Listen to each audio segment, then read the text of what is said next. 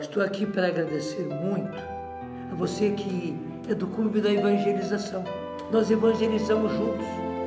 Você é meu sócio, você é minha sócia, porque a sua contribuição se soma para que nós possamos evangelizar. Nós não conseguiríamos evangelizar se não fosse você.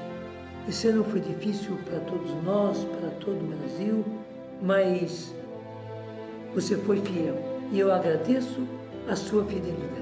Deus te pague. Deus abençoe você. Nós estamos juntos nessa empreitada.